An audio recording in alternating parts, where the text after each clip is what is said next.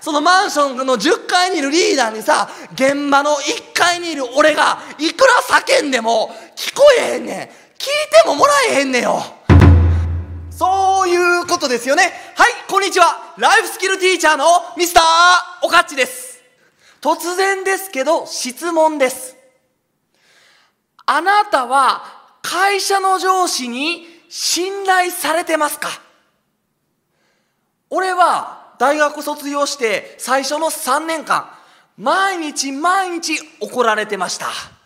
仕事ができない人間そんなレッテルを貼られて誰からも信頼されずもう居場所なんかなかった。でもそれから2年経ってチームを日本一に導き、会社と上司に評価されて、トップセールスマンとして表彰されることになった。なんで誰からも信頼されてなかった俺がチームを日本一に導けたのか。今日はそれを伝えたくてマイクを持ってます。いきます。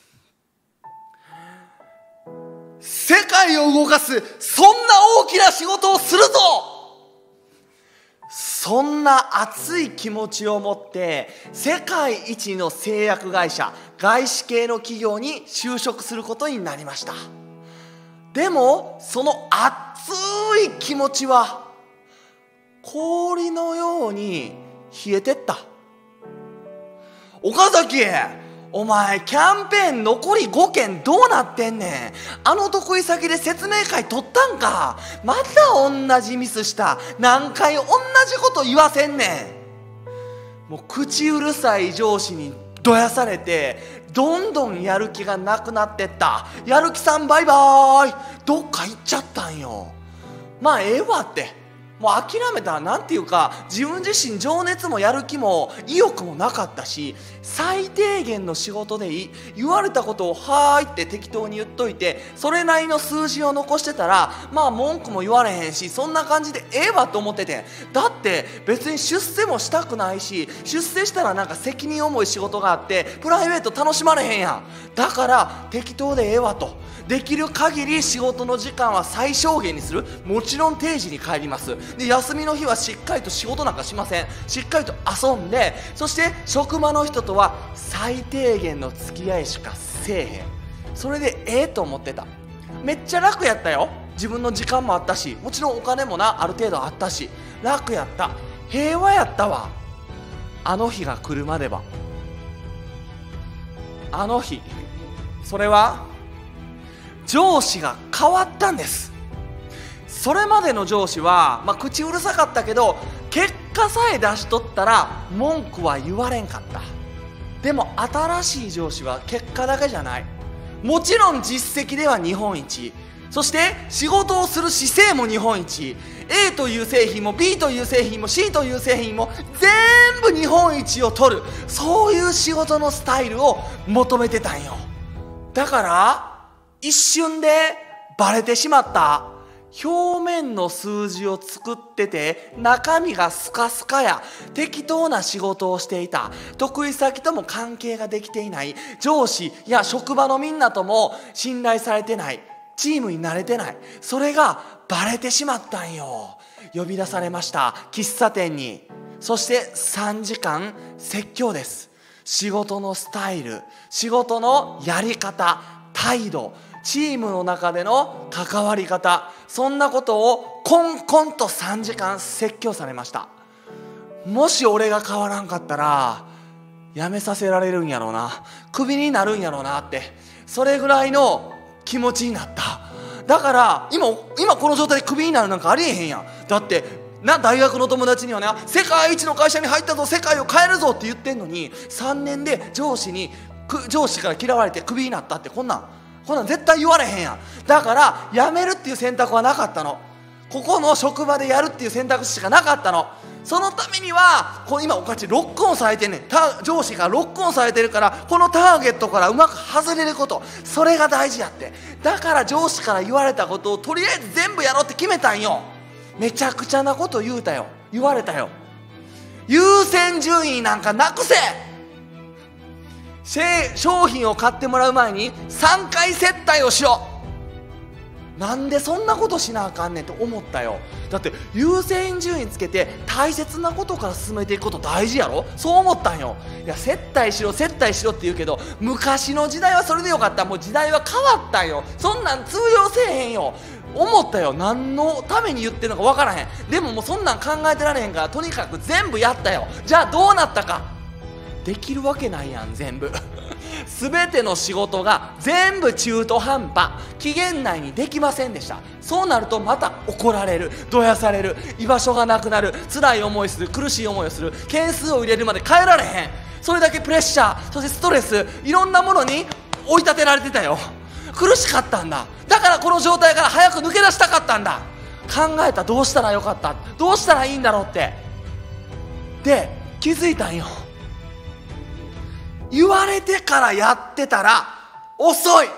だってまだ3年目未熟やしスキルも経験もないんや。言われてからやってたらベテランの人に勝たれへんしドベになる。ベドベになったらターゲットから外られへんやん。外れられへんやだから言われる前に先読みして先にやっとく。うん。何を言われるか予想してもう事前にやってたら言われた時にもうそれやってましたよって言えるやん。そういう仕事やったら余裕が持てるんちゃうかと思って。じゃあそのために大事なこと。それは上司が何のためにその仕事を指示しているのかっていうのを知ることや。チームを上司がどうしたいのか。俺に何を求めてるのかっていうこと。ただ言われてることをやるんじゃなくて言われてることの目的意図。そしてそれをやった先にどんないいことがあるのか。そしてこのチームをどうしたいのか。この会社をどうしたいのか。そういうビジョン。意図目的そういうことを理解しないと先読みできないなと思ったんよ。だからおかっちは決めた。上司が本当に望んでることこのチームに望んでることこの俺に望んでることそれをしろそう思った。その日から変わったよ。会議では上司が言うセリフ一言一句漏らさずにメモりました。何をやるのかっていうタスクはもちろん。そしてそれがそのタスクを何のためにやらなあかんのかっていうのをしっかりと聞いてその目的と意図をちゃんと確認して書いて赤いペンで囲いました。そしてもしその意図が分からんことがあったらえそリーダーそれってそのキャンペーンをやるのはチームを活気づけるためにするんですか？というふうにその意図を確認した。一つ一つ細かい作業やけどそういうことを積み重ねていった。でそういうことを繰り返していったら少しずつやけど上司が求めていること上司がどこに行きたいのかビジョンであったりゴールであったり指示している目的意図。そしてこの俺にどうなってほしいのかっていうのが見えてきたんよ。上司が見えてる景色が見えてきたんよ。上司の立場で考えられるようになったんよ。そうすると次こんなこと言われるやろなとかあんなこと言われるやろなって先読みしてそれをやることもできるようになった。こんなことがあったんです。上司から言われました。岡崎今回のキャンペーンのノルマを絶対に達成してくれ。そう言われました。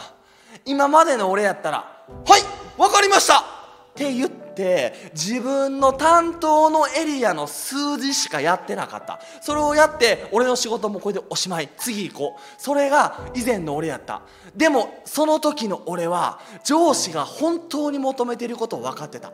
上司が求めてることは俺が俺一人がノルマを達成することじゃないねん。俺も達成してそしてあの人も達成してあの上司も先輩も会社の同僚仲間が全員が達成することを望望んでいる。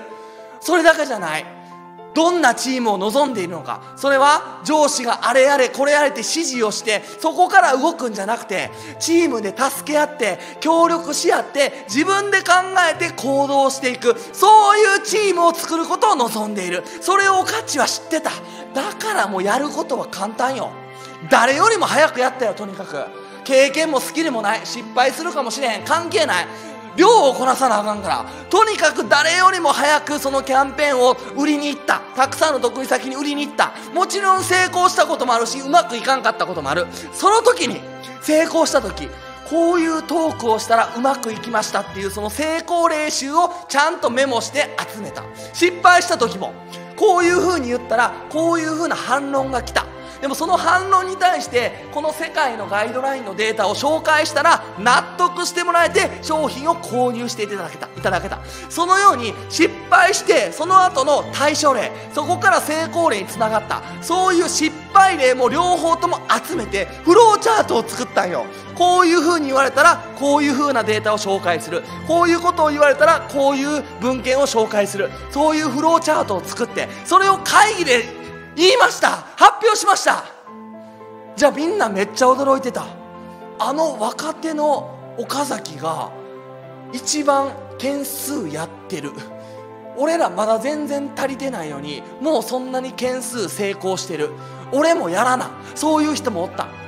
で違う人はああいう風などうせこの文献持ってってもこういう風に反論されるからやめとこう。そういう風に思ってた人がこういう風に反論されてもこういう文献を次持ってったら成功する。だからちょっとやってみようかなってそんな気持ちになってチームは仲間は動き出したんよそっから。もうそれだけじゃない。で自分たちが動き出す。みんなが活動したみんなが本気で動き出したんよ。そして自分たちがやったことうまくいったことだけじゃない。うまくいかんかった例も共有した。今まではカッコつけていい部分しか見せてなかった。そうじゃない。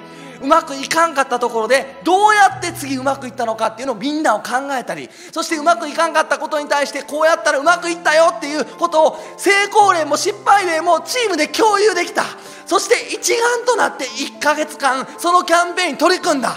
その結果そのキャンペーンでは日本一になることができました。上司に言われたよ。岡崎今回のキャンペーンで日本一取れたのはお前のおかげや。お前が誰よりも早く行動しそこでうまくいかんかったこともうまくいったことも全部そのままをみんなにシェアしてくれた。だからみんなにも火がついてみんなが協力してこのキャンペーンを1位として通過することができたんや。岡崎ありがとう。褒めてもらえた。初めて褒めてもらえた上司に嬉しかったよ。今までずっとずっとこういろんな仕事やってたけどなんていうか感謝されることもなかったけど今回は先に読んでそれでこうやなと思ったことをやったらありがとうって言葉もらえた。これなんやなって思って。だからそれから俺は2年間誰よりも早く仕事をしてうまくいったことだけじゃなくてうまくいかんかったことも同時にみんなにシェアした。そういうことを2年間繰り返し繰り返し繰り返した。その結果チームとして日本一を取ることができてトップセールスマンとして表彰することになった。その時思ったよ。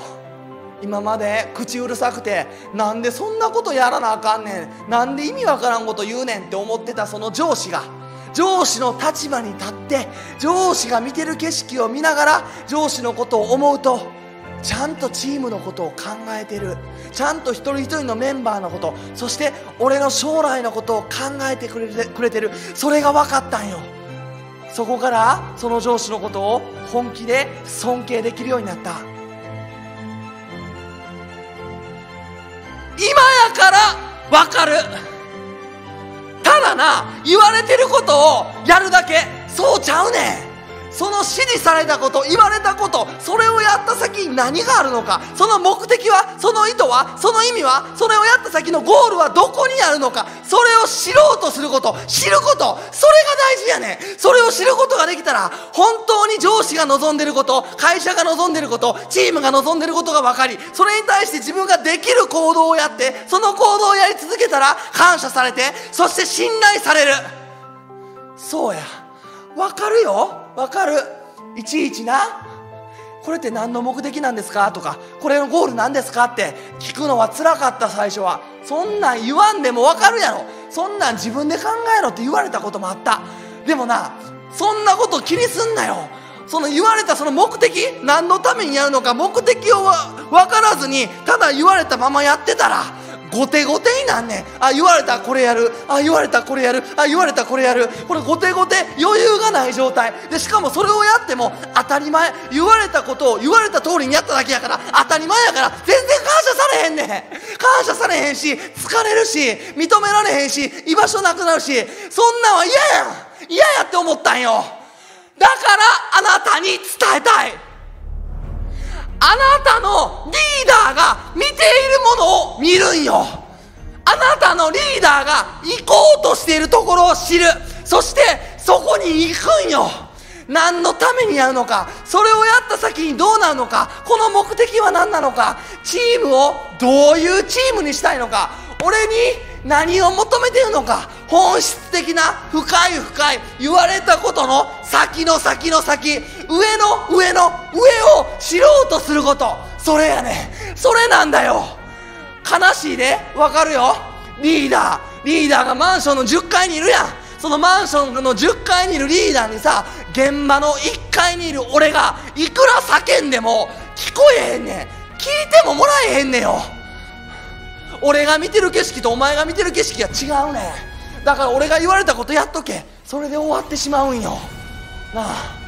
それで言われてなんでこれやらなあかんねんと思いながらやる。また言うこと変わったコロコロ変わったほんまに信じられへんなと思いながらやる。気持ちはわかる。でもな当たり前やねん。見てる景色が違うからマンションの10階とマンションの1階で見えてる景色が違うねん。だからその状態で何を言っても聞こえへんし聞いてももらわれへん。じゃあどうする？上司を引きずり下ろすか。それは無理です。人間を変えることはできへん。できることはあなたが登ること。あなたが上司がいるリーダーがいるそのポジションまで登ること。今言われたことそれには何の意味があるんだろう何の目的があるんだろうそして1年後5年後10年後このチームをどうしたいんだろうこの会社をどうしたいんだろう会社のビジョンであったり経営理念であったりチームのコンセプト目標であったりただ言われたことをメモるんじゃなくて言われたことのその先の先の先そこをしっかり理解しようとする。そうすれば少しずつだけどリーダーが求めていることリーダーが見えている景色が見えてくる。マンションの10階にたどり着く。そうなった時に上司がこれから指示しようとすることそれを言われる前に分かる。1言われたら10分かる。そういう力が手に入るし言われなくても10理解できる。そういう能力がついてくんねん。そう。分かるよ。理不尽なことあるよ。ただ言えること。あなたがどれだけいいアイデアを持っててもどれだけいい考え方持ってたとしてもあなたがそのマンションの1階で叫び続ける限り10階にいる彼には届かへん。どれだけ間違ったことを言ってたとしても。だからあなたが上に登って上司が見ている景色を見ながらあなたの意見を提案する。リーダー今年も全国一取りたいんやったら去年なんで全国一を取れたのかそれをメンバーで共有しませんか。そういうふうに言ったら聞いてもらえる。採用されるんよ。なあ。だから言われたことだけをメモしてそれにチェックする。それだけの仕事はやめてしまおうよ。それをやった先に何があるんよ。楽しいかい？そういうことを毎日毎日積み重ねてる。その先に何も生まれへんよ。あるのは1時間あたり働いたその分の給料それは生まれるよ。でもそこに感動はあるんかい。心は動いてるんかい。あなたの心の底がそれを求めているんかい。もしそうじゃないんやったら自分でミッションを持って会社のリーダーが求めてることを知ってそれを一つ一つクリアしていく。そういう仕事の中で信頼を勝ち取ってほしい。俺はあなたが会社のリーダーと同僚から信頼されてチームのゴールとあなたのゴールを実現することを心の底から応援してます。はい。もう言うことはありません。はい。心が震える仕事をしていこう。一緒に。なんとなく楽な仕事じゃなくてはいということで少しでも元気になったためになったっていうことは高評価ボタンを押してくれたら嬉しいです。このチャンネルではとにかくあなたの魂が震えるそういう動画を配信してます。よかったらチャンネル登録お願いします。あと一つ皆さんにお願いがあります。ミスターおかっち39歳30代最後の挑戦として講師オーディションにエントリーしました。本気でやりました。そのプレゼン動画が概要欄に貼り付けてます。よかったら見てください。そして少しでも心が動いたら投票していただけたら本当に嬉しいです。ぜひ見たよとか投票したよとかコメントください、えー以上です。さよなら。あなたが最高のあなたに